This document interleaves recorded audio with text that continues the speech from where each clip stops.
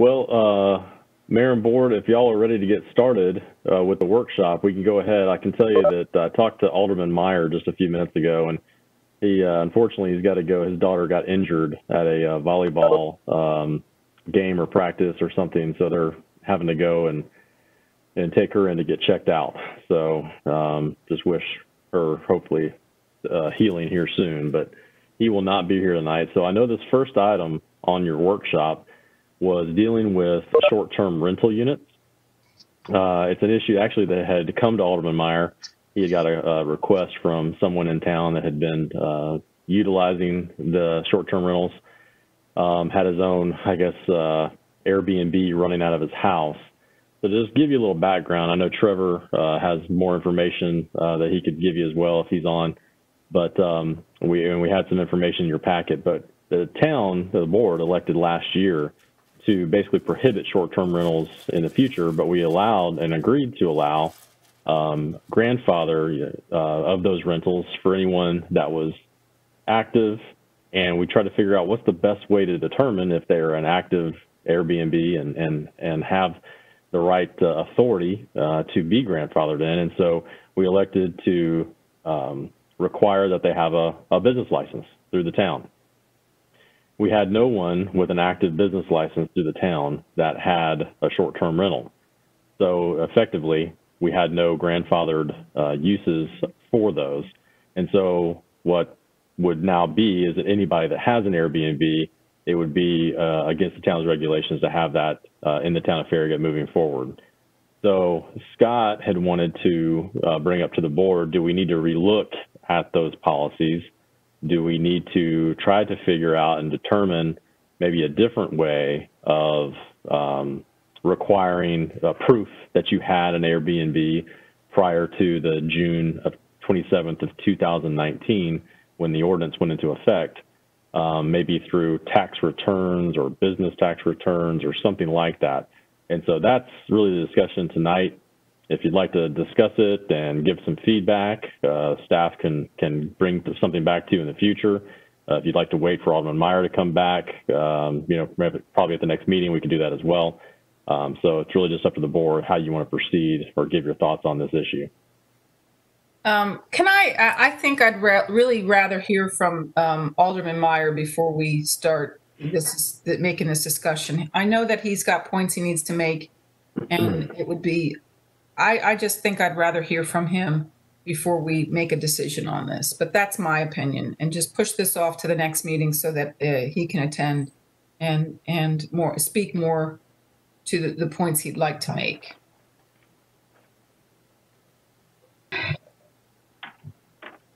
Uh, Mayor Williams, uh, am I coming through or is this still dead? I can hear you. We hear you.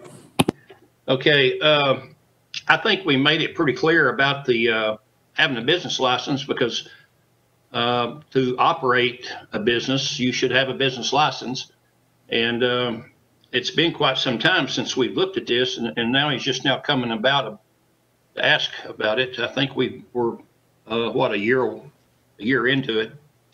But, um, uh, so I don't really see what else we could do uh, to help one person that has had a year to to really uh, well he had plenty of time prior to that if he was operating a, a B, Airbnb before that.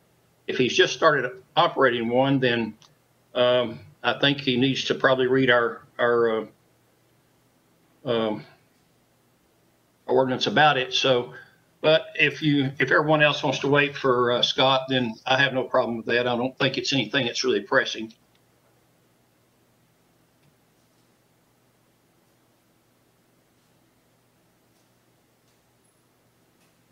As I'm fine either way, either discussing it and voting on it tonight or waiting. It's uh, one person, and again, they did not have a permit. I'm not sure what uh, what um, Alderman Meyer can bring forward that would change our minds, but uh, either way, I'm fine. This is Alderman Burnette. I'm kind of in the same same boat. Um, I thought it was pretty clear, but if there's some additional points that need to be brought up, I- I'm fine with waiting. I will just make a one other point is that although there was one person that uh, contacted Alderman Meyer, there's actually four in town that we have contacted to let them know that uh, their their use of Airbnbs is prohibited in town. So more than just one, uh, and then we and I don't know much more details other than that. Is that we've been notifying folks that um, that we know are are utilizing Airbnb and letting them know that they should not be doing that. So. Um, so if the board's okay, uh, I'm happy to, uh, obviously, we can postpone this uh, item for, for Alderman Meyer to get back, uh, hopefully at our next meeting. And then we can bring it up and, and have him uh, maybe discuss some of the points he had on how you may be able to find some records, uh, or if a person really had a legitimate business with this, there's many records they would have to have on file.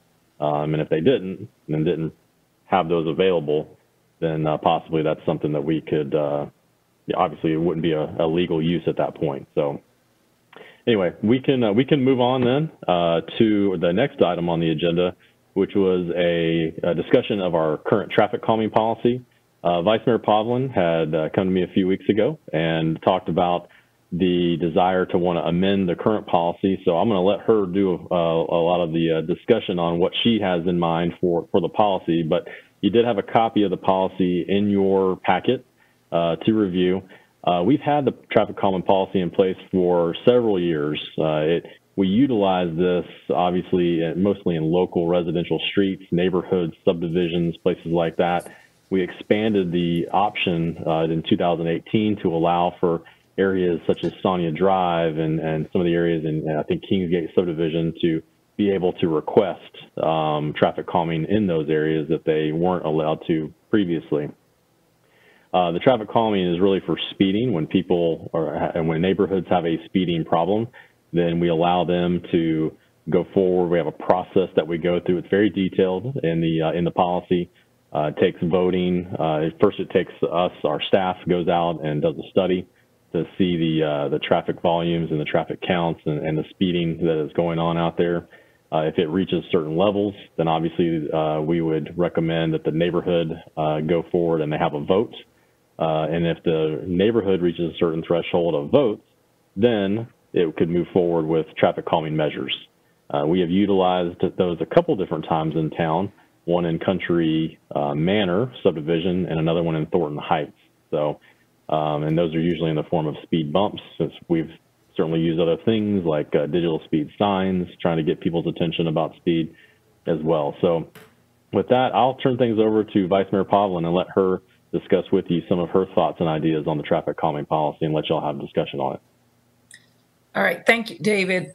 um, we this this policy we amended this policy a few years back to include collectors, neighborhood collectors that were more than 50% of the frontage was uh, residential, and that opened up Sonia Drive and Admiral Road, which are in the Farragut View neighborhood.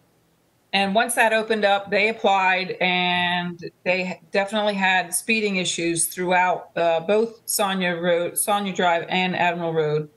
Um, they went through the process.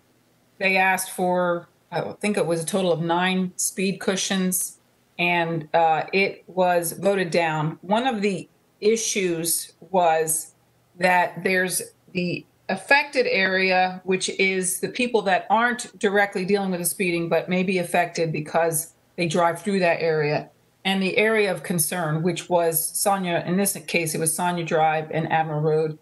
And the residents on in Farragut View, these two roads that are that where they're seeing a, a high level of speeding, were were upset that the people that were actually doing this, probably doing the speeding, the people in Stonecrest, could vote down the speed cushions and and then continue to speed, and they would have to deal with it.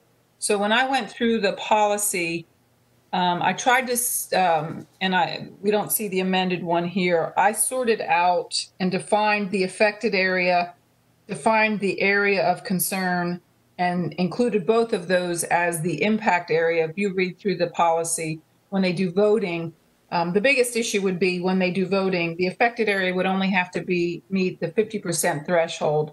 And the area, area of concern, the area where speeding is actually happening, would have to meet the 65% threshold. So that's basically what I was proposing was we clean it up, make sure that our, we have definite, uh, real definitions for what is the affected area and what is the area of concern. And then um, when we vote, because that's what we did, we actually ended up delineating out for the vote um, for Farragut View. Uh, in actuality, in Stonecrest, if it was at 50%, they would have made that number. Um, Stonecrest came in at 54%. Um, Admiral View, uh, Farragut View came in at like 63%.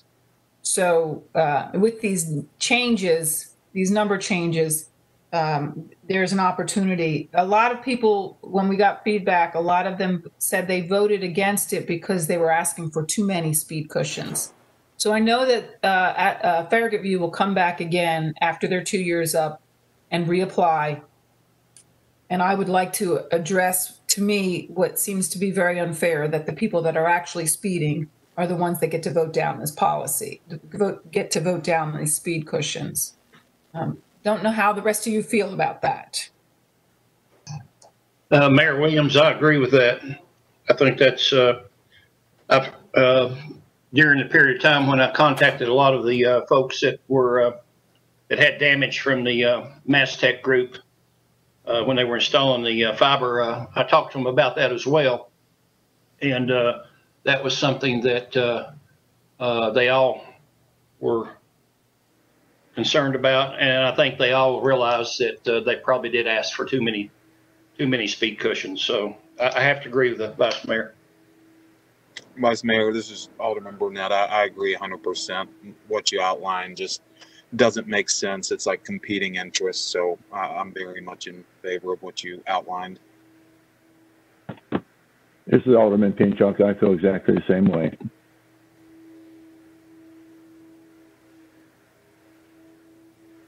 Well, that was easy.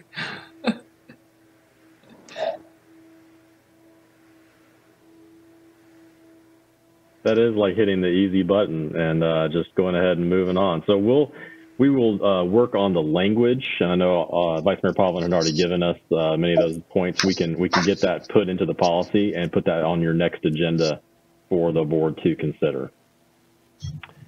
Um, the, the final workshop item that I have, at least tonight, is to discuss with you some of the uh, uh, public meeting protocol for the Board of Mayor and Alderman meetings.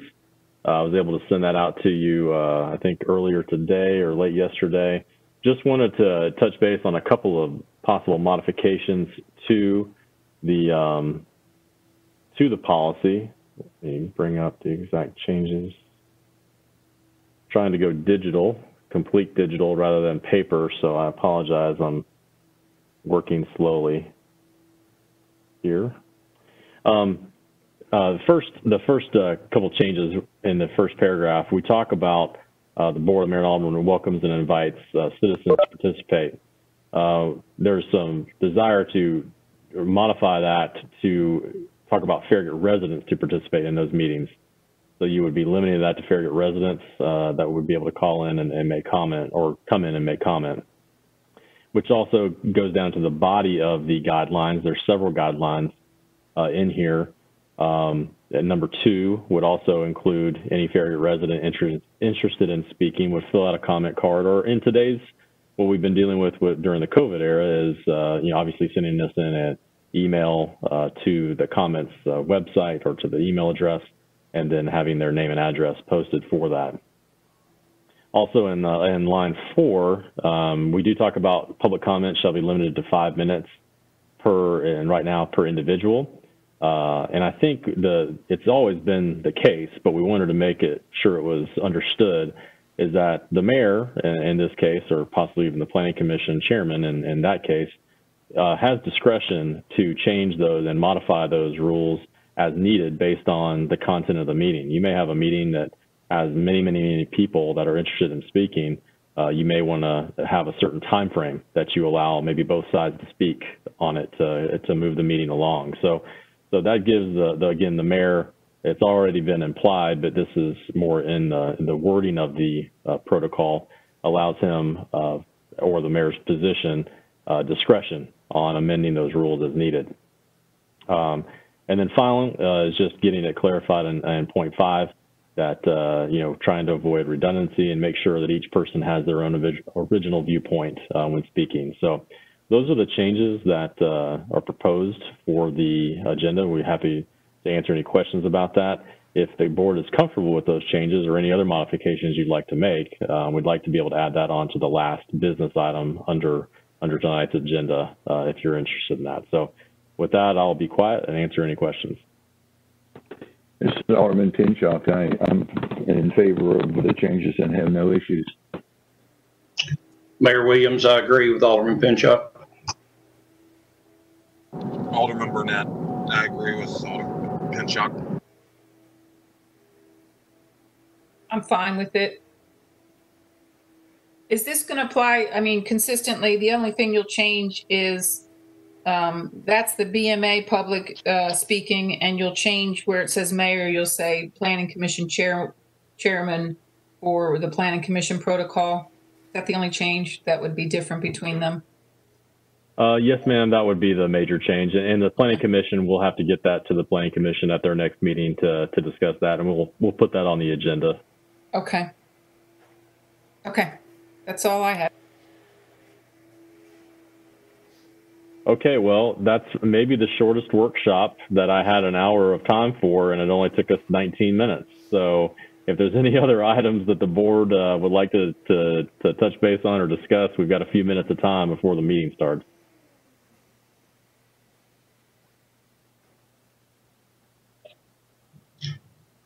I'd just like to uh, uh, um, update the board. I am working on a very thorough background um, document for this uh, mixed-use town center plan um, to give to the residents so they understand.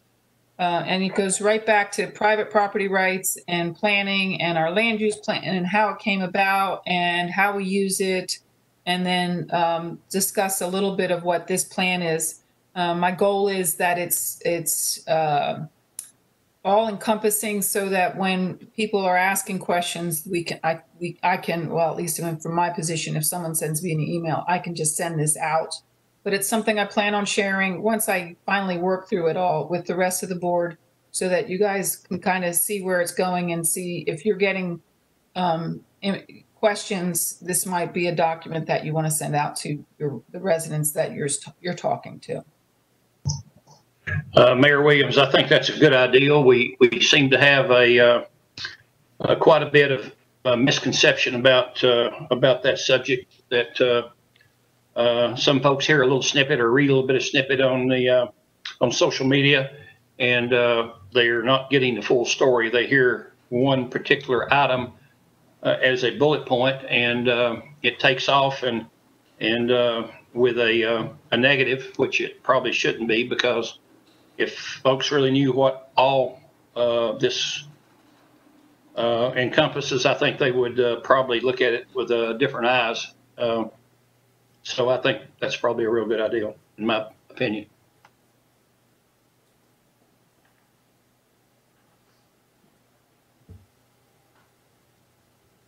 That's all I had.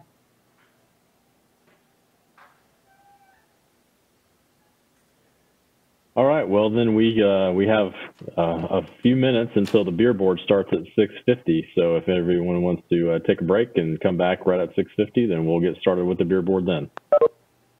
I see the time is 6:50, um, and I see we four board members present, so we have a quorum. So it's time to call to order the Beer Board for August 27th, 2020.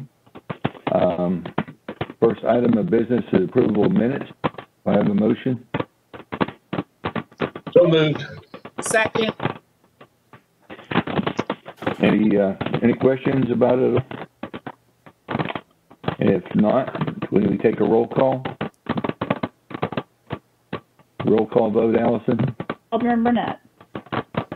Alderman Burnette. Alderman Meyer. Oh, you hit that, I'm sorry. Alderman Pinchok. Alderman Chalk, yes. Alderman Povlin, Alderman Povlin, yes. Mayor Williams. Mayor Williams, yes. All right, the next item of business is a beer request for an approval of a Class 1 on-premise beer permit for Dos Agaves located at 11639 Parkside Drive. Yes, sir. This is, all the information is in order, and this is for the class one for Do- Dos Agaves at um, 11639 Parkside, which is the old La Paria site as well. And everything is in order, and the applicant is on the phone tonight. The applicant uh, would like to speak, please.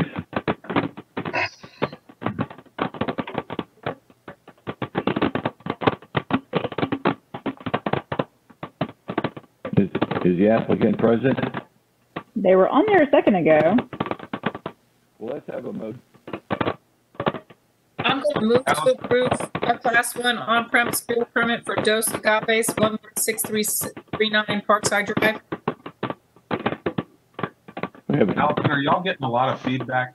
I'm getting a lot on my, It's, Uh, it's, I think it's Ron, and I'm not sure why. Ron, is your, have you muted your mic? it's, it's Ron's, um, Yeah. Yeah. You're talking and we can't hear you now. I apologize. You have a crackling coming through your, um, phone, uh, when you're talking. You have something crackling. When I'm talking now, it's crackling? Yes. I'm not sure what would be called that. Any suggestions, Allison? No. So is the applicant on the phone? Do they hear us? She was just because she and I talked on here just before everybody started joining up. So I'm not sure where they Yeah. are. We have a call-in user number four. I'm not sure who that is.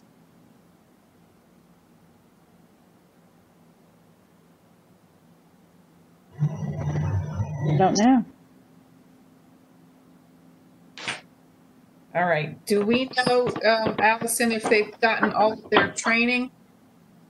Um, she was talking to me about that today. They're working on training and they're not sure about their opening date yet. They thought it was going to be at the end of this month, but it's gotten pushed to probably the end of next month.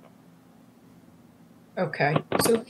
Do we want to postpone until, do we want to postpone until next month if she's not present, Bob?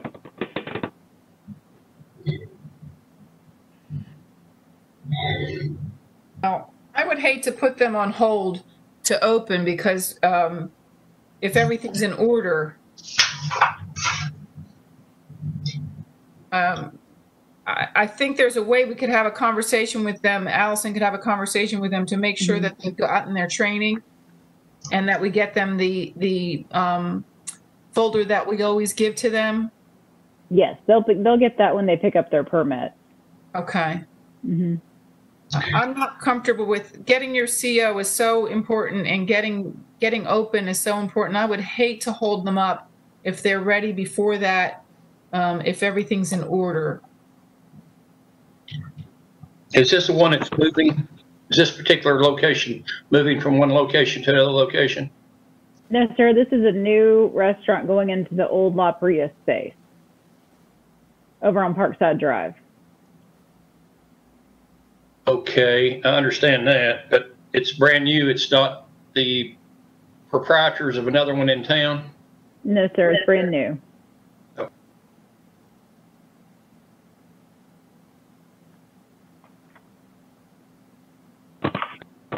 I feel a little uncomfortable um, approving this without them present, just to make sure they understand uh, what's expected of them. But if you all feel that Allison covered that, we proceed forward. do we have the ability to give them a quick call to see if they're actually on and are having technical difficulties or? Well, she was actually on, and she and I had a conversation. Let me um, let me see if I can give her a call. You have her number on file? Awesome. I do. Let me give her a call real quick. Hey, Ron, while we're, while we're waiting, maybe take your AirPods out and put them back in the case and close it. And then open them back up and reconnect them and see if that solves it.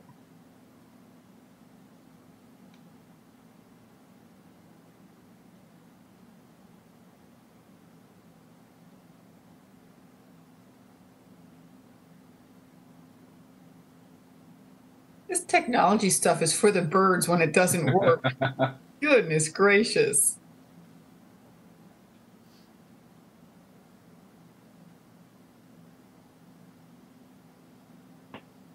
Okay, is that any better? No, still sounds like popcorn's popping. Really? Oh, well, let me turn the pop opera off. I'm sorry.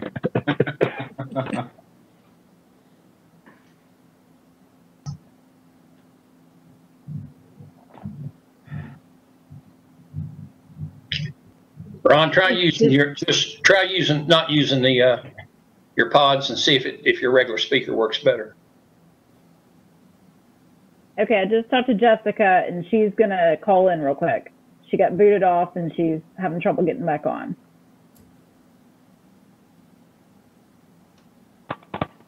Okay, so my question is, I take the AirPods out and will it automatically go back to my computer? Still got one of them, Ron. Theoretically. That's how technology is supposed to work. All right, all right, let me give it a try.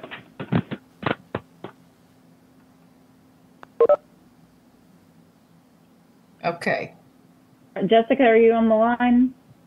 Yes, I am. Okay, Jessica um, is on the line now, so she can answer any questions you guys have. Ron, did you want to ask your questions? Can you hear me? Is that Yes, better? I can hear you. That'll work, Ron. All right, this is Alderman Pinchok. I was having some uh, audio problems. Uh, Would you like to speak uh, for your business and uh, what your plans are?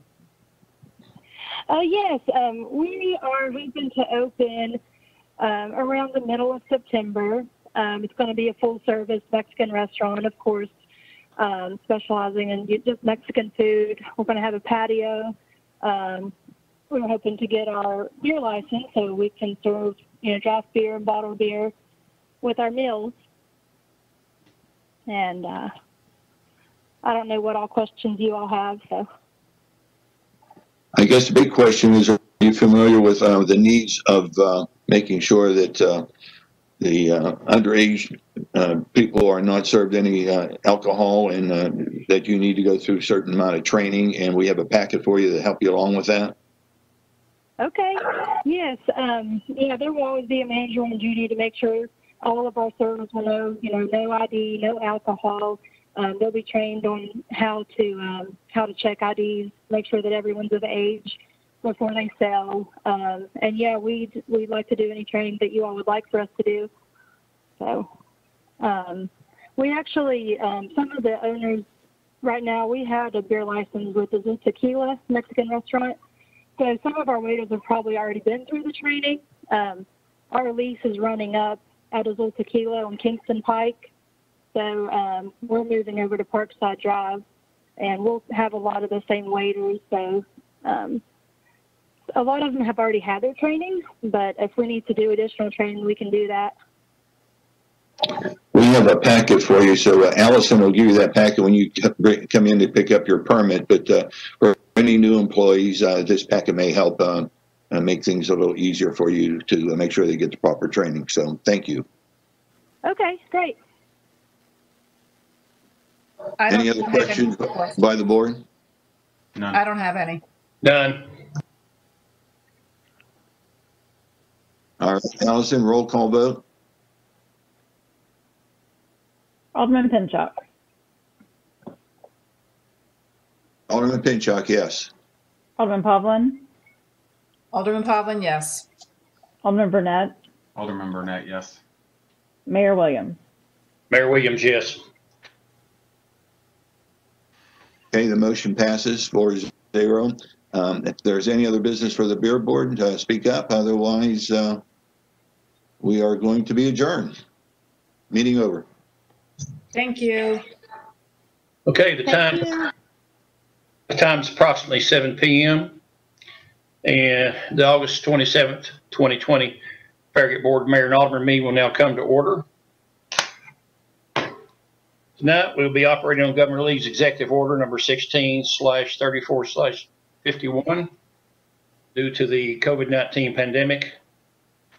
Executive Order sixteen concerning electronic meetings, which has been extended by Executive Order thirty-four through June 30th of 2020, which now has been extended by Executive Order 51, which will be enforced through August the 29th, 2020, which at time that particular one will expire. In accordance with the executive order, live access to the virtual meetings is made available through Charter 193 or TDS Channel 3. During this period of time, all citizens' agenda or forum comments and questions, along with a name and address, should be emailed to comments at townoffarragut.org and should have been received by 12 p.m. that day in order to be included in the record of the meeting. All Farragut Board and Alder, Mayor and Alderman meetings will be public notice per Tennessee state law, and they will also be recorded and can be viewed at a later date on the Town of Farragut YouTube channel. Pursuant to the governor's executive order, all votes taken tonight will be by roll call vote. And I will now ask the town recorder to please take attendance roll call for a quorum. Trying to get unmuted here. All right. Um, Alderman Burnette, Alderman Burnette, yes. Alderman Meyer, he's out. Alderman Pinchok, Alderman Pinchok, present. Alderman Povlin, Alderman Povlin present. Mayor Williams. Mayor Williams, Williams present. Um, Okay, do we have any from the press or the shopper or any other uh, media? Looks like Margie and Michelle both are on, um, yep, on the call tonight. Okay, thank you. Uh, On the agenda, we uh, think we have an amended agenda item tonight. Uh, yes, Mayor, we would like to add under business items, uh, letter F, approval of amendment to Board of Mayor and Alderman Public Meeting Protocol. Okay, with that change, I'll ask for a motion to approve the amended August 27th, 2020 agenda as changed. Move to approve the amended agenda. Okay, now ask the town recorder to please take a roll call vote. Alderman Pinchok, Alderman Pinchok, yes. Alderman Povlin, Alderman Povlin, yes. Alderman Burnette, Alderman Burnette, yes. Mayor Williams. Mayor Williams, yes. Let the record show that the amended August 27th, 2020 agenda has been approved as stated.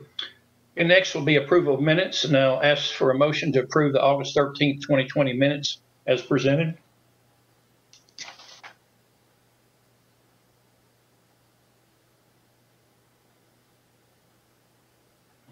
Move to approve. Second, Okay. Uh, I'll now ask the town recorder for a roll call vote, please. Alderman Povlin, Sorry, sorry. Alderman Povlin, yes. Alderman Burnette, Alderman Burnette, yes. Alderman Pinchok, Alderman Pinchok, yes. Mayor Williams. Mayor Williams, yes. Let the record show that the August 13th, 2020 minutes have been approved and will be recorded as official minutes of the meeting. And next will be the mayor's report.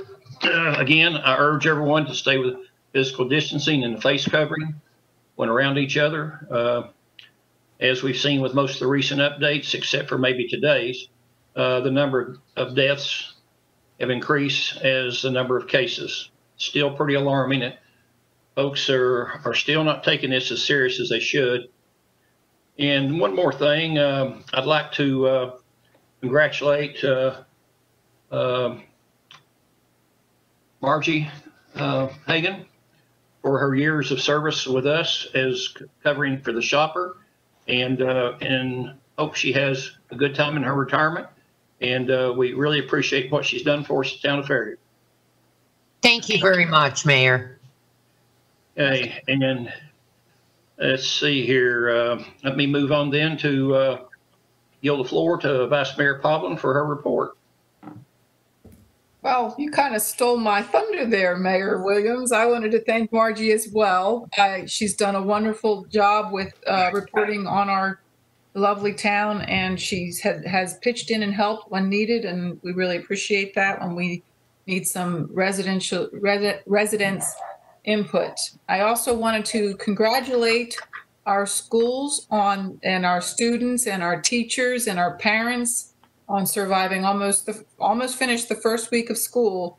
So un, under very trying circumstances, the bus drivers, the kids are getting on their buses and getting there, and I'm really I'm happy that everybody is staying safe and staying healthy. So let's hope it continues that way. That's all I had. Okay, thank you, Vice Mayor Povlin. Uh, any other Alderman have anything to report? Alderman Pinchok, I have none. Nothing here. Okay, if not, then we'll move on to our full slate of agenda items tonight. Uh, we have four ordinances to review with public hearing tonight. First will be a public hearing on the second reading. Ordinance twenty 4 an ordinance to amend the Farragut Municipal Code, Chapter one oh nine, signs by replacing it within its entirety. The town of Farragut is the applicant. Mayor, I'll uh, handle this one tonight since uh, Mark is, is out uh, this evening. Uh, this is second reading of the ordinance. We've been working on the sign uh, amendments for quite some time now, since uh, late last year in 2019. Uh, it's been through several iterations and was approved on first reading of the board meeting last time. There had been no changes from first to second reading, so we would recommend approval of, on uh, second reading of ordinance 20-04. I'll move for approval. Second. Okay, uh, let's see, uh, ask the town recorder if we have any, uh, citizens' comments or questions. No, sir, we do not. Do not, okay, if none, then we'll move on to discussion, start with Alderman, uh, Pinchok, since Alderman Meyer is out. Uh, I have nothing further to say. It's been a long process and I'm so excited that this is coming to an end. I got a piece of cake here to celebrate. Okay, Alderman Burnette?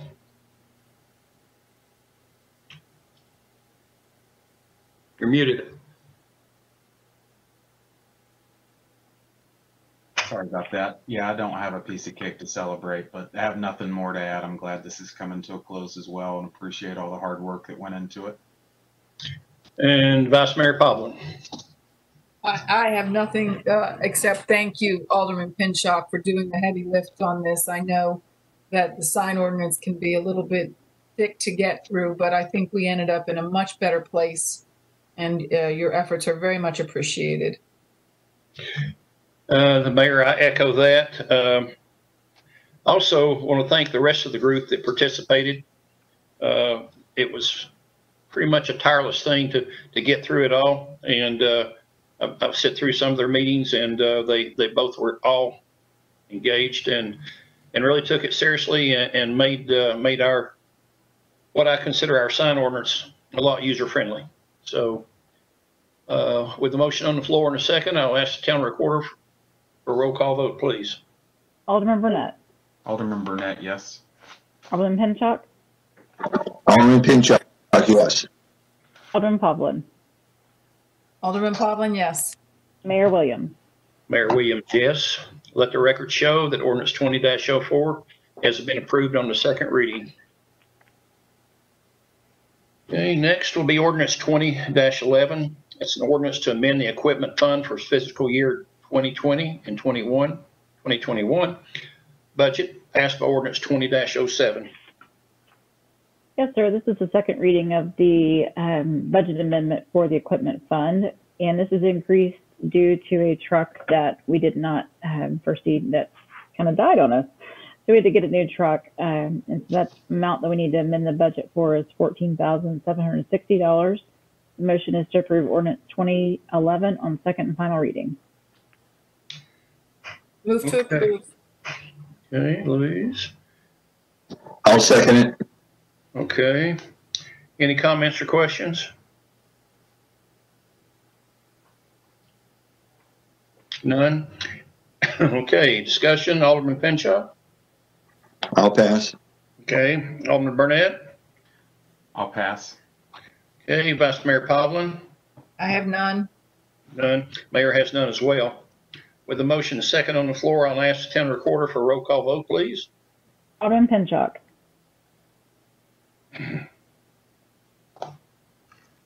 Alderman Pinchok, Sorry about that. Alderman Pinchok, yes. Alderman Povlin, Alderman Povlin, yes. Alderman Burnette, Alderman Burnette, yes. Mayor Williams. Mayor Williams, yes. Uh, let the record show that ordinance twenty eleven has been approved on the second reading. The next two ordinances will be for public hearing on the first reading. And we'll start with ordinance twenty 9 an ordinance to amend chapter four, alcoholic beverages.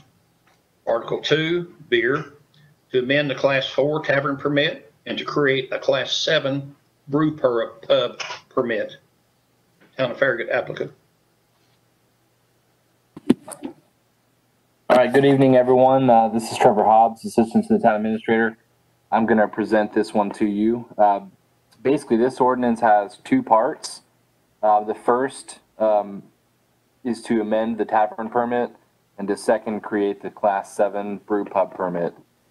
Um, just by way of quick background, just so where everyone's on the same page, uh, this ordinance is based on uh, the text amendment applications of two separate businesses, the Admiral Pub and Admiral's Corner.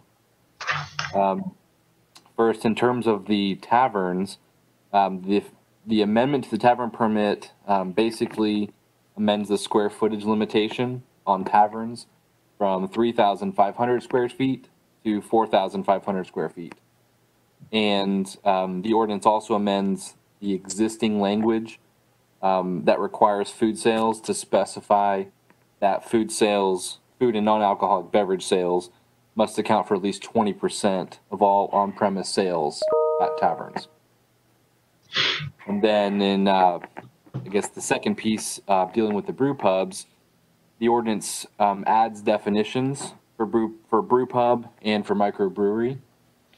And, uh, the, just so you know, the definitions that were included in your original packet were, were based on, um, the, the resolution that was going to the planning commission last week.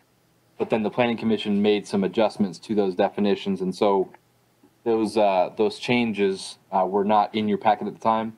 Uh, we have those on the, uh, on the next slide, just so you can see there what we, what we did. Um, I'm In any coming, case- sorry.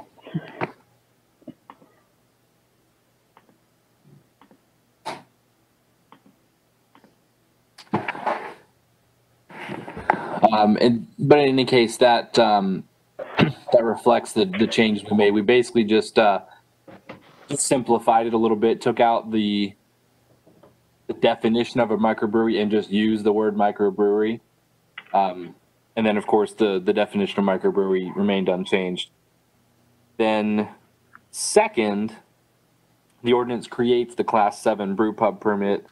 Um, it limits the number of brew permit, brew permit, brew pub permits in the town to three and creates, um, a set of terms for that permit.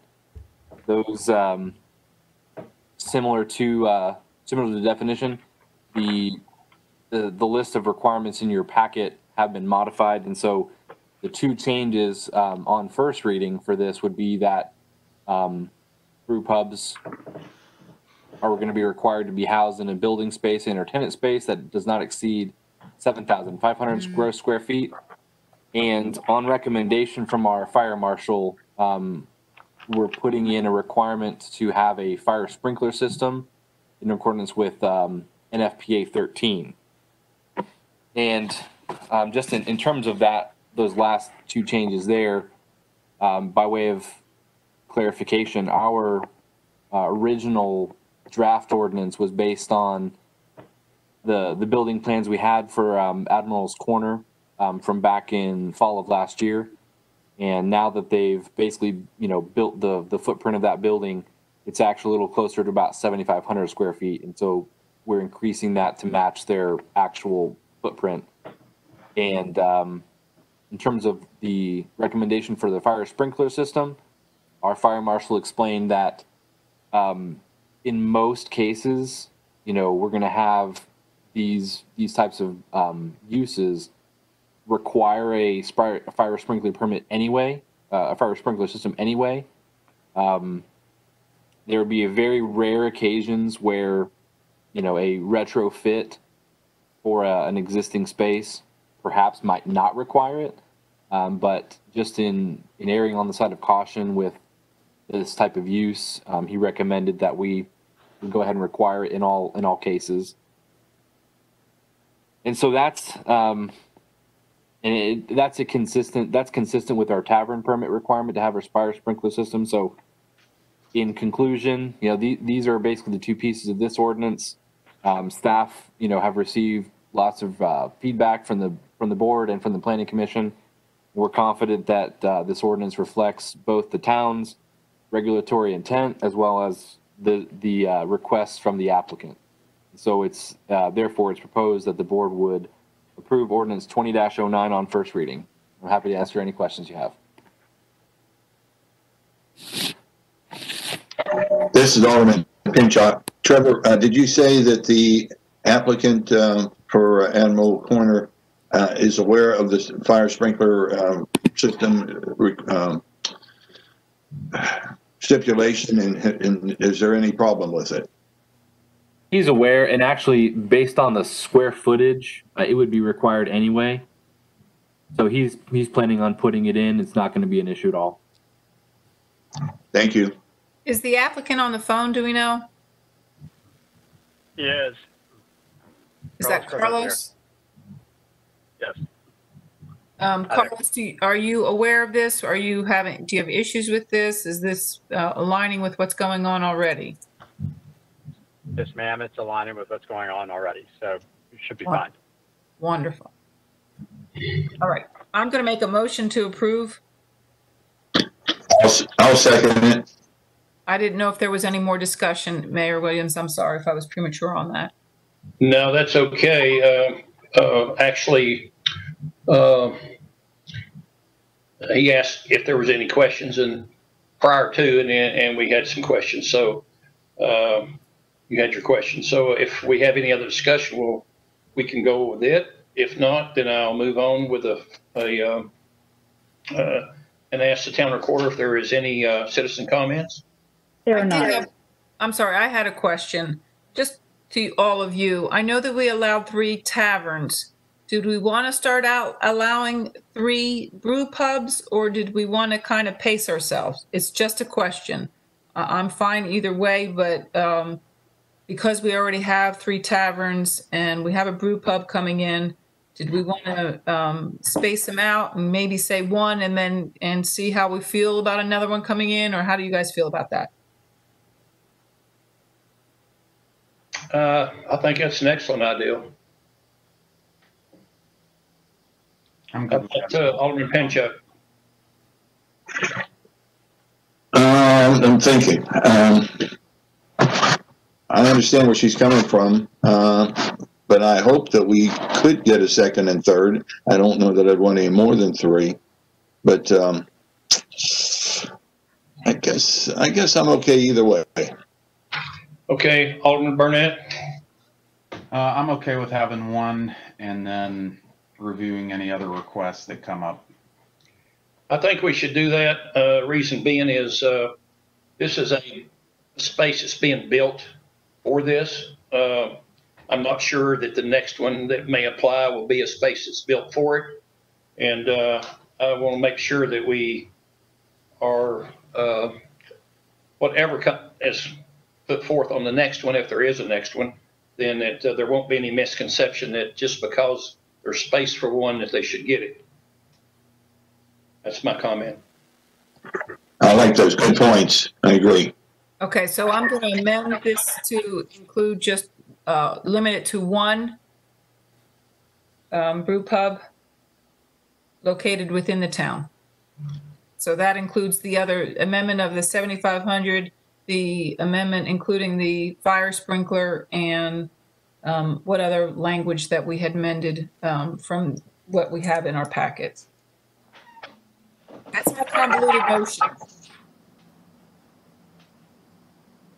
Okay, Allison, you got that? I do. Okay.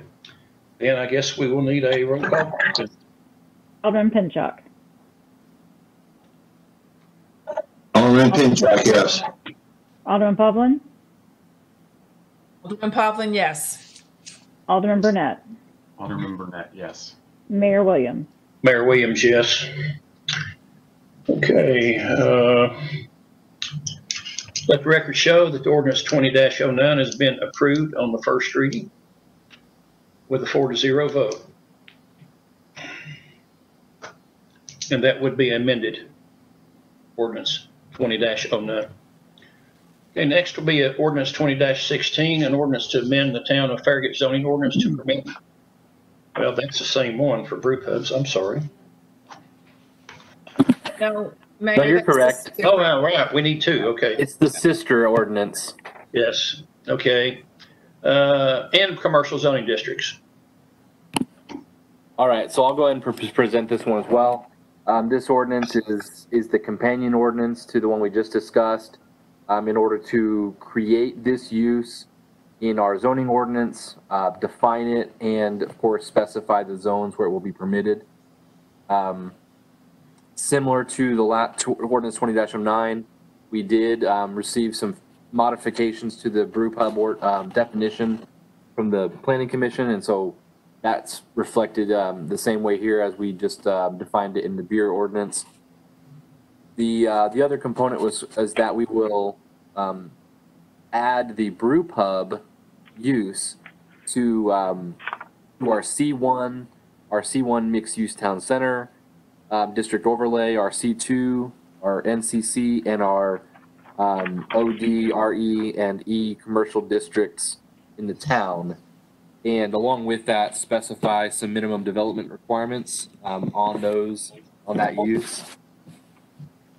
The, uh, just the, the basic, you know, the reason we're defining it that way, just so everyone is understanding, is that, um, you know, if we were to allow more in the future, it would be clear that you can't just have a microbrewery on its own, that, that the brew pub use is what is actually permitted. And therefore you have to, um, you have to combine it with a eating establishment type uh, type concept. So of course we uh, staff are confident that this uh, reflects the the town's regulatory intent and um, the request from the applicant, and so it is proposed that the board would adopt ordinance twenty sixteen on first reading. Move to approve ordinance twenty sixteen. Second. Okay. Uh, do we have any citizen comments, please? No, sir. Okay. Uh, if none, then we'll move on to discussion and we'll start with Alderman Pinchok. I'll pass. Okay, Alderman Burnette, I'll pass. Vice Mayor Povlin, I'll pass. Mayor passes as well. And, uh, with the motion and second on the floor and no discussion, I'll now ask the town recorder, please take a roll call vote. Alderman Povlin. Alderman Povlin, yes. Alderman Burnette. Alderman Burnett, yes. Alderman Pinchok. Alderman Pinchok, yes. Mayor Williams. Mayor Williams, yes. Uh, uh, Let the record show that ordinance twenty sixteen has been approved with a four to oh vote on the first reading. Okay, next, we'll move on to our business items. We, uh, we have six items on tonight's amended agenda. And uh, we'll start off with approval of Resolution R 2020-09, a resolution declaring certain town property to be surplus property. Yes, sir. This is this um, um, item is for any equipment that we have that's greater than hundred dollars, and we will be advertising those on govdeals.com, which is an online government surplus auction site. The items we're surplusing tonight is a 2005 Ford F-150 with plow, a 2009 Ford F-250 with a plow, a 2006 Case skid steer loader, a 2015 John Deere 9970 turn mower. And the motion is to approve resolution R 2020-09, declaring certain town property to be surplus. Move to approve. Second. Okay. Okay, uh, uh, let's see, I'll ask the town recorder to read in any questions or comments from residents. We don't, we do not have any tonight. None, okay. Then we'll move on to discussion. We'll start out with uh, Alderman Pinchok. I pass. Pass. Okay, Alderman Meyer is out. Uh, Alderman Burnette, I'll pass. Vice Mayor Povlin. I'll pass. Okay, Mayor Williams, looks like we've got enough for a used, uh, used equipment lot here. Um, We do. Uh, Okay, with a motion uh, that has been seconded, I'll now ask the town recorder for a roll call vote, please. Alderman Burnette, Alderman Burnette, yes. Alderman Pinchok, Alderman Pinchok, yes. Alderman Povlin, Alderman Povlin, yes. Mayor Williams. Mayor Williams, yes. Okay. Let the record show that the resolution has been approved as requested. Okay, next will be approval of Resolution R 2020-10, Sourcewell Cooperative. Yes, sir. This agenda item is to confirm the participation in Sourcewell, which is a nationwide government purchasing alliance. Sourcewell was a, formerly known as the National Joint Powers Alliance, and a public um, entity whose creation was authorized by, the Minnesota, by Minnesota Statute 123A.21, and it also authorizes it to engage in cooperative purchasing. Tennessee municipalities may participate in this program. It's Interlocal Cooperative Agreement Cooperative Act and TCA 12-9-101. So all the contracts um, with Sourcewell are established through a comprehensive process of purchasing and solicitation of, of those contracts. And attached in your packet was the procurement policy. The town has participated in this program for several ye- years, and this resolution confirms that partnership because of the company's name change from National Joint Powers Alliance to Sourcewell. The motions to approve Resolution R 2020-10, participation with Sourcewell Cooperative Purchasing. Move to approve.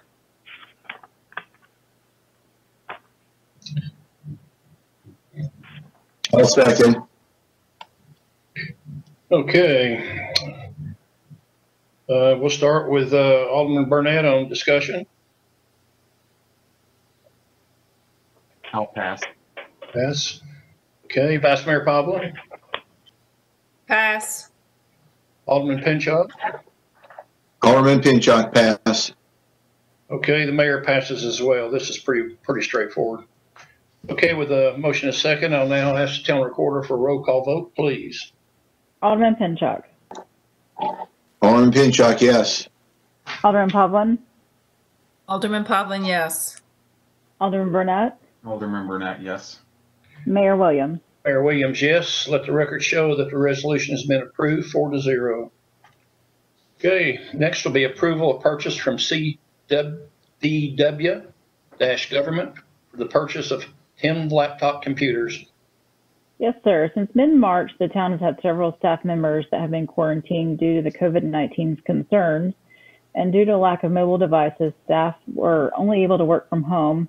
They personally owned adequate technology to do so. Additionally, the need to conduct town business via virtual meetings has increased, and the need for portable devices that can be used away from a, fi- from a fixed location. As a result of these circumstances, staff has concluded that additional computers are needed in order to comply with the health and safety requirements and to maintain operations in the event a large number of town personnel are required to work remotely. In response to this increased need for mobile technology, Joe LaCroix, the IT manager, has evaluated the needs per department. The request is to purchase 10 laptop computers for util- utilization during remote meetings and working remotely. Attached quote, the attached quote is from CDWG, which is through the Sourcewell Cooperative Purchasing Contract Number 081419-CDW in the amount of $19,245.60. This is not a budgeted item, but will be reimbursed through the Tennessee CARES Act. Through the Coronavirus Relief Fund, the CRF, the CARES Act provides payments to state, local, and tribal governments navigating the impact of, of the COVID 19 outbreak. The recommendation is to um, approve the purchase of the CDW purchase of 10 laptops for $19,245.60. So moved. Second, Okay, uh, do we have any, dis- uh, any, uh, questions or comments from anyone? I have a question. Okay, Um, it says that we'll be reimbursed through the Tennessee CARES Act, but, um, how, how do we know that? Is there confirmation that, uh, all of these, uh, applications are being, these purchases are being approved? Or do we have pre-approval? How does that work? I wish we had pre-approval, but we do not. Under the CARES Act, and I've had a couple, I actually had another webinar today. Um, one of the stipulations or, or the, I guess things we're eligible for is to provide for technology for people working remotely. And so this does qualify for that. We haven't, we, we did it at 10 mainly because that's kind of where our budget was for computers going into the next year, which that is budgeted for. The addition of these 10 is not budgeted. So our thoughts were if all of a sudden they kick this out, which I'd be very surprised if they did because that's probably very little compared to what I heard on a webinar today that like $1.2 million in computers and technology for working remotely. So we did that just in case we were not approved for this purchase, which I think we totally will be. But we did that so if we need to cover it, we do have the money in the budget. We just wouldn't be pro- replacing other computers this year that were scheduled to be replaced. Okay, thank you, Allison. I appreciate that. You're welcome. Alderman Pinchok, I pass. Alderman Burnette, I pass. okay, Mayor, um, I think this is great use of the, of the, uh, CARES money. Uh, it's kind of a complicated, uh, ordeal to go through, but, uh, uh, I have faith that we will be, uh, reimbursed for this, uh, based on what I have learned about it. So, uh, anyway, I, I think, uh, we're ready now for a, uh roll call vote, please. Alderman Pinchok, Alderman Pinchok, yes. Alderman Povlin, Alderman Povlin, yes. Alderman Burnette, Alderman Burnette, yes. Mayor Williams. Mayor Williams, yes. Let the record show that the purchase from CDW Government for 10 laptops has been approved. Four to zero as requested. Next will be approval of purchase from TN Mask Supply. Yes, sir. This is very similar to the previous um, request, and this is to give you a background. It's due to the Knox County requirement requirement that all teachers and students wear facial coverings during in-person education settings. The town of Farragut is planning to buy Farragut logo masks for all the students and teachers at the Farragut school. The purpose is to provide reusable masks that will assist the teachers and students to comply with the county's face mask requirement. The cost of the mask order will be $11,650, and the details of that are also in your packet. And due to the total cost of the mask order, this board has to approve that purchase. So the motion is to approve the purchase from Tennessee Mask, TN Mask, apply for 45 4,500 masks plus shipping in the amount of $11,650. I'm going to move to approve. I'll second it. Okay, um, any, uh,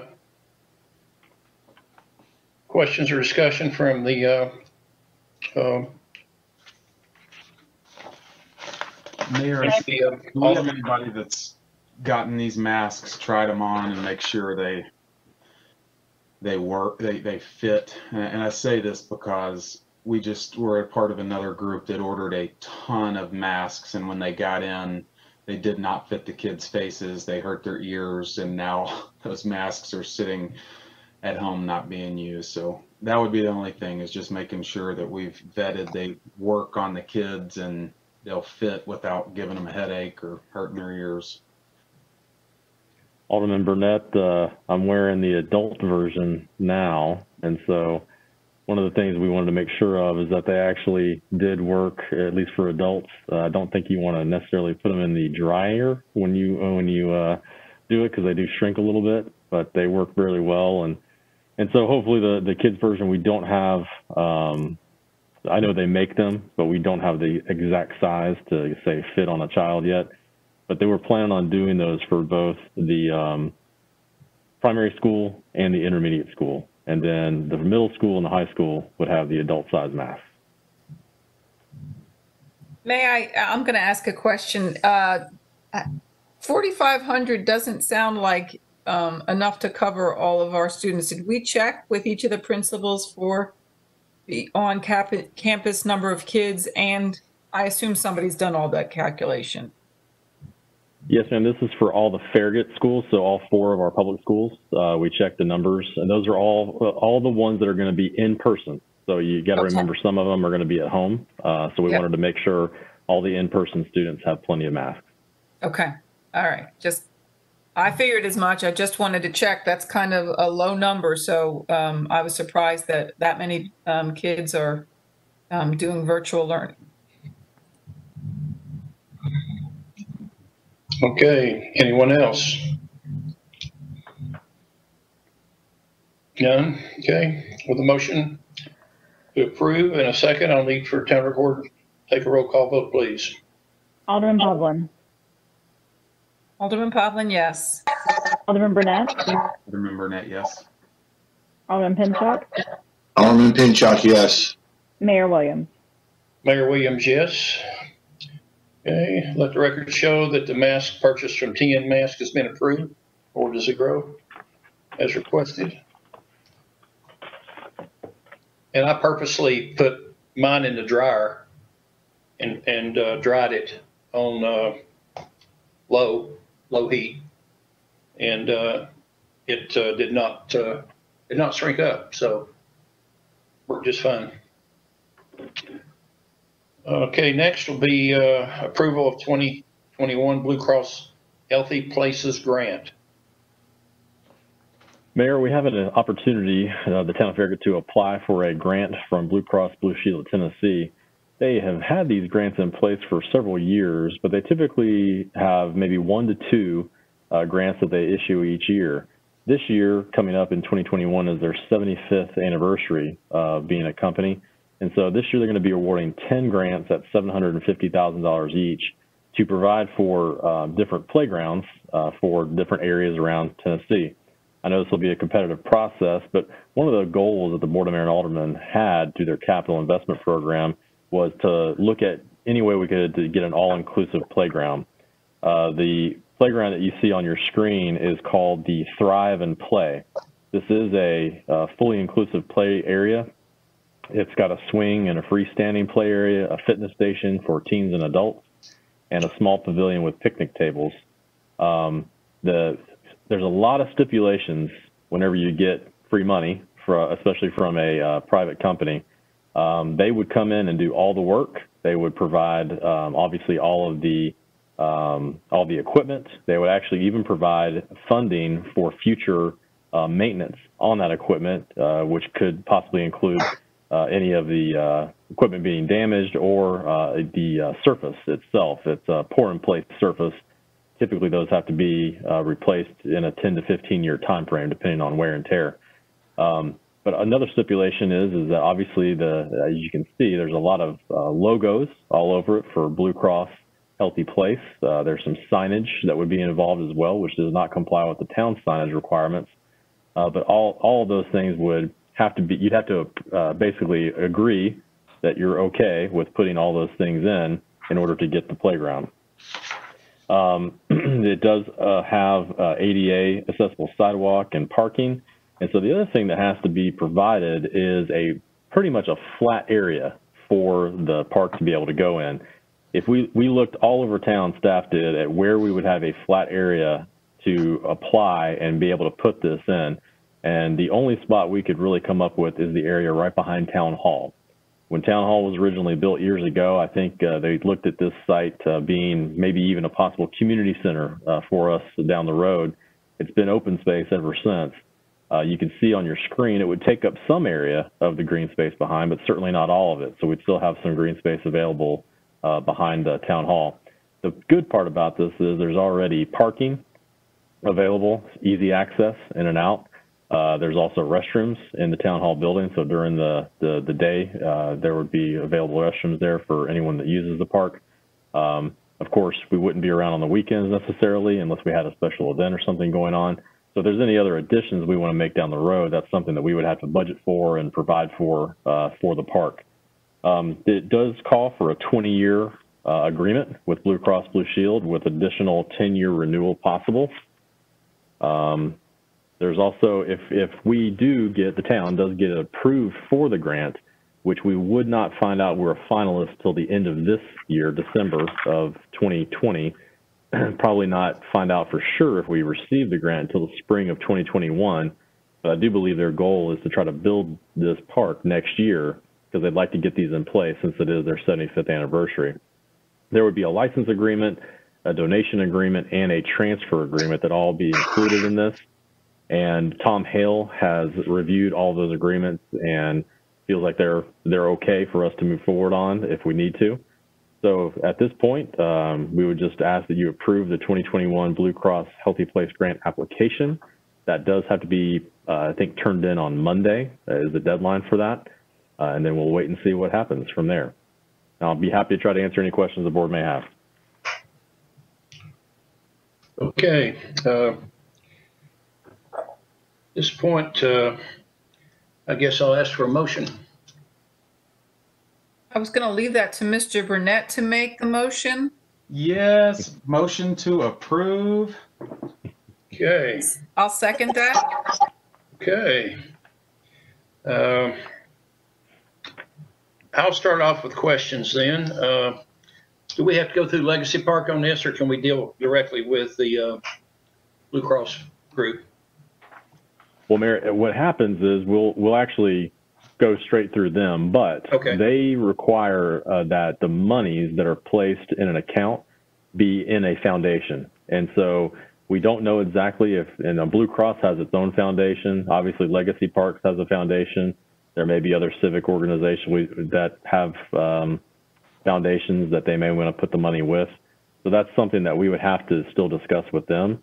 But that money would not say go in our bank account, and it wouldn't necessarily be in Blue Cross's bank account. It would be in a foundation's bank account that we would have to go to in the future and request those funds for any maintenance that we have to do. Okay, that, that was my main concern was, was how we would, how we would source funds for maintenance and upkeep. So, uh, I guess that's still open, I guess. Okay. Uh, we'll go with, uh, Vice Mayor Povlin next. Um, not that it would be considered under this project, but uh, at some point, I would assume that we would be interested in putting in some restroom facilities. Um, is that a possibility in that area?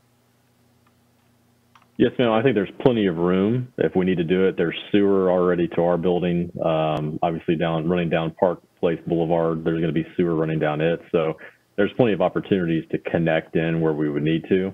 Uh, I think we could probably do a very simple type of restroom, maybe even get away with uh, get by with one unisex facility, since we do have the major facility there at Town Hall, uh, which would be available during open hours. We are not planning on lighting this facility, so it would really be just for daytime hours, uh, sunrise to sunset, that you'd see most of the activity there.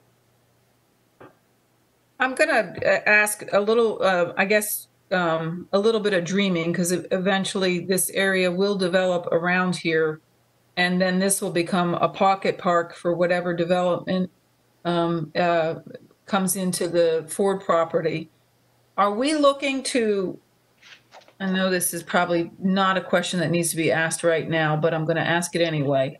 The parking lot back there, um, there's an easy connection to be made to the, the road that travels parallel to it. Is that something we're looking at doing when we, um, when we start seeing development around there? We, we certainly could, if that's something that was in the board's interest. Um, we could look at doing that. Obviously, we have Municipal Center Drive, which will be the main connector into that area. But depending on how the Ford property develops, you know, this, if this is uh, going to be our downtown, our future downtown uh, down the road, then having more residential areas around it, it would make it more convenient for them to get in and out of that area and be able to utilize the park easily. Okay. Okay, uh, That's all I have.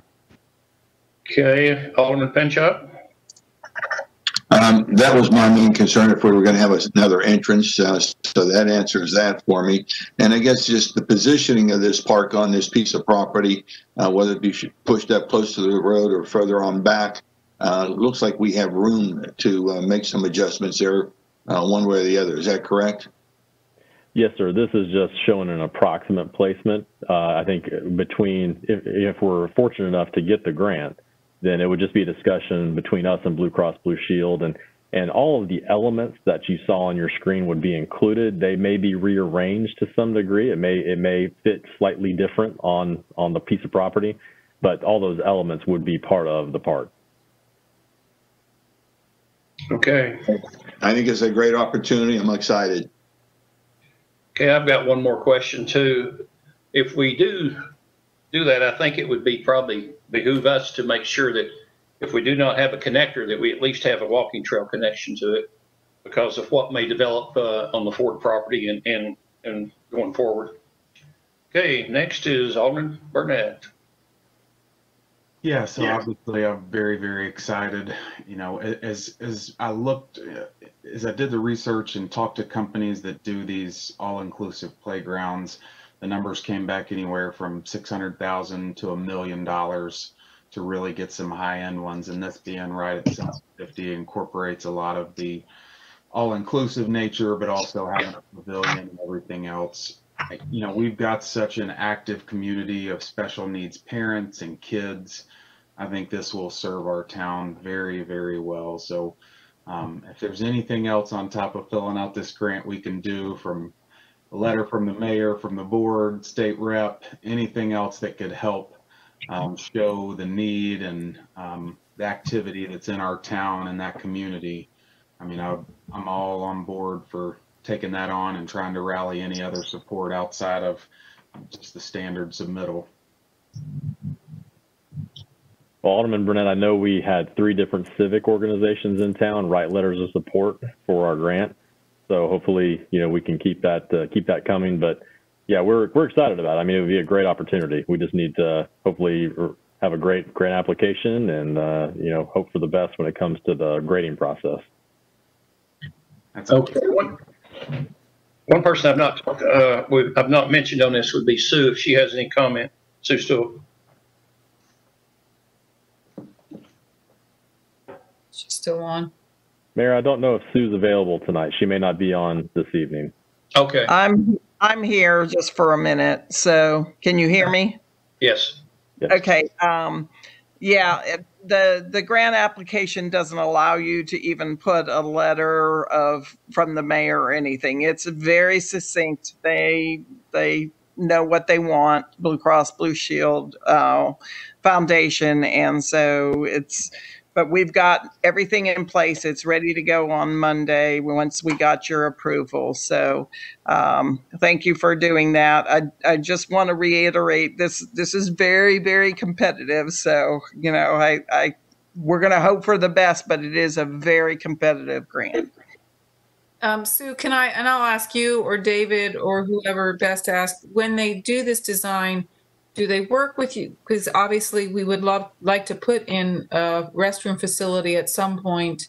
Do they work with you in that design? I- don't know if you're even familiar with that, so that we can make sure that we're leaving a room where a restroom would most uh, uh, make sense. Yeah, so so you can't change the basic design. I mean, they'll adapt it a little bit to the property. You can't change it, but they were very clear um, during the workshop that if there were communities that wanted to do wanted to add to it, because that was the question. Well, could we get this instead of this, or could we add something?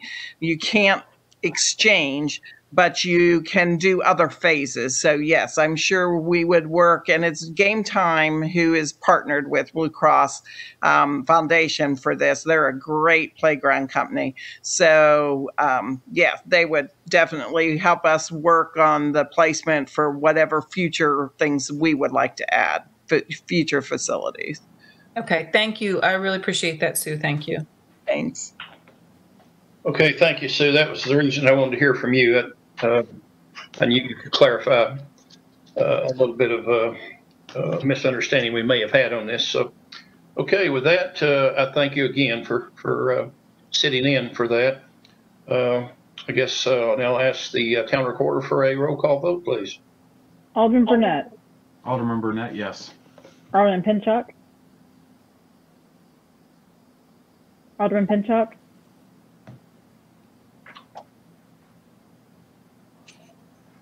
Did we lose Ron? uh, we might have.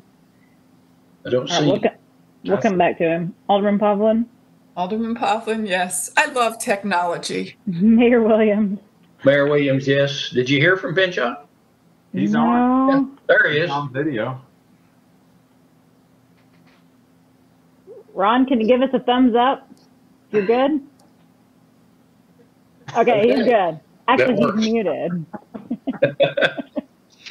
Okay. Uh, let the record show that the 2021 Blue Cross Healthy Places Grant uh, has been approved as, re- as requested. Okay, next will be approval of updates to the board mayor and alderman meeting public comment protocol. Uh, yes, Mayor, we spoke at a workshop earlier that, uh, uh, about making some minor modifications to the Board of Mayor and Alderman public comment protocol. So I just want to read those in, uh, to the record so that, uh, we can get those clarified and the board can have discussion on it. Uh, the first, uh, paragraph, we wanted to amend by saying that the Board of Mayor and Alderman welcomes and invites Farragut residents to participate in public meetings. Also, if you go down to the body of the, uh, of the elements of the, uh, when we recognize public comments, line two, we're going to amend that to say any Farragut resident interested in speaking should fill out a blue comment card stating which agenda item they would like to comment on and turn in to the town recorder or a staff member. Uh, line four, public comment shall be limited to five minutes per individual. Time for public comment may be amended at the discretion of the mayor. Time is not transferable to other speakers. And line five, uh, speakers should strive to avoid redundancy. Each speaker should have their own original viewpoint. Those are all the amended sections that we were looking at doing for the public comment protocol. And so uh, staff would recommend approval. Okay, with that, I'd ask for a motion. Move to approve? Second. Okay. Uh, I think we've discussed it already, so if there's not any more discussion, or if there's no public comment, then I will move on with the motion and second on the floor. I'll now ask town recorder for a roll call vote, please. Alderman Pinchok, Alderman Pinchok, yes. Alderman Povlin. Alderman Potvin, yes. I'm sorry. I got the church giggles. Alderman Burnette, Alderman Burnette, yes. Mayor Williams. Mayor Williams, yes. Okay, let the record show that the protocol update's been approved, um, four to zero as discussed. Okay, I guess next will be the uh, town administrator's report. David? Yes, sir, Mayor. Um, we've been uh, having to get into our old files over the last few few days, looking up some old records. And when we did that, we don't have to do it very often, um, but when we do that, we realized that we needed to update some of our uh, uh, personnel that are authorized to go and look at those uh, records at the bank. So I needed to read this into the record for for that purpose. Um, we need to update the authorized access list for the safety deposit boxes at Regions Bank. Those authorized are Mayor Ron Williams, Pam Hall, Jennifer Hatmaker, Allison Myers, and David Smoak. And that's all I have to report tonight. Okay, that was pretty easy. Okay, thanks, David, for the report. And it don't look like Mr. Hale's on the line tonight, so we will not have a uh, report from him. So next will be citizens forum, if there is, uh, pursuant to the governor's executive order. We ask that all citizens' comments be emailed to comments@townoffarragut.org, which must, along with their name and address, be received by 12 p.m. the day of the meeting to be included in the record of that night's meeting. They must also abide by the public forum comment protocol, be read into the record. I'll now ask for the town recorder to please read any and all eligible comments or questions with a five-minute time limit on each subject, please. Yes, sir. We have one citizen comment tonight. It's from Joanne Creekmore. It's at 12301 Butternut Circle in Sugarwood. Says, uh, Mr. Creekmore and I are highly against the proposed plan regarding a developer putting in new 300 apartment complex at the old Kroger site. Our current infrastructure and schools cannot handle it. We are saddened by the overdel- overdevelopment going on here. Please turn this down. Regards, Joanne Creekmore. Okay, that's the only one we have, okay. Uh, Mayor Williams, may I have a point of clarity, uh, because this seems to be going around about the, the uh, impact on our schools. And, um, every five years or so, then the Knoxville, Knox County Planning, uh, updates their student yield numbers for each, uh, sector of the community. And in the southwest sector, market rate apartments, um, will yield approximately, give or take, six or stu- six students for the Farragut primary, six students for Farragut intermediate, seven students or so for Farragut middle school, and seven students or so for Farragut high school, for a total of about 25 students. So um, it's not, this is not going to yield a lot of students. I just wanted to make a point of clarity about that. Okay, thank you. That's, uh, good information for all. Uh, I think there's, that's a miss, uh, uh, something a lot of people are missing there, that it's not a, uh, a, uh, a high amount that would be in that, that area. Also, I guess to say that, uh, with the new school that's being built, uh, for the, uh, for, for the sector, which will be, I think, on, uh, right off Philippi there. Um, I think that would be built prior to, uh, this particular, uh, project being completed. And, um, at that point, I believe what we would have is, according to what we've heard, is that the students from the, um, north side of the freeway would be actually, uh, zoned for that particular, uh, uh, Hardin Valley area. And, uh, that would also relieve some of the, uh, number of students that we'd have in our Farragut schools.